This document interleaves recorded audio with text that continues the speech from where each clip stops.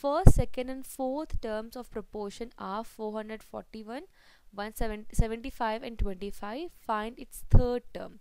So they have given that they are in proportion.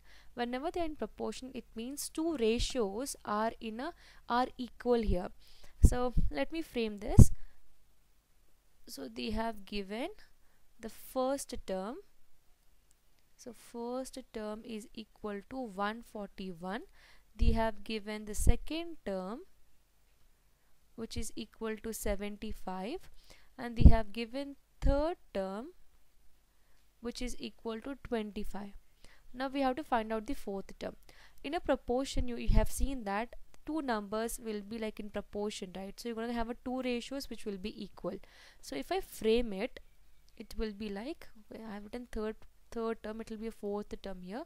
So fourth term is 25 fourth term is 25 we don't know the third term. I'm going to assume third term be equal to x.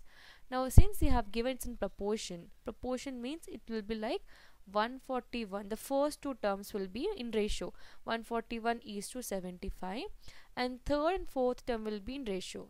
Is in proportion with third term is x and fourth term is 25 this is how it's going to look like 141 is to 75 is in proportion with x is to 25 now since they have given its proportion it means we their extreme product of extreme will be same as product of mean that is when you multiply the extreme these two numbers and when you multiply the mean that is 75 and x the product will be same.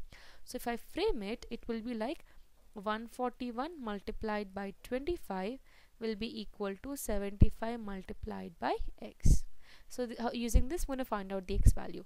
So I want only the x value I'm going to transpose 75 to the other side. So 141 multiplied by 25 divided by 75 is equal to x.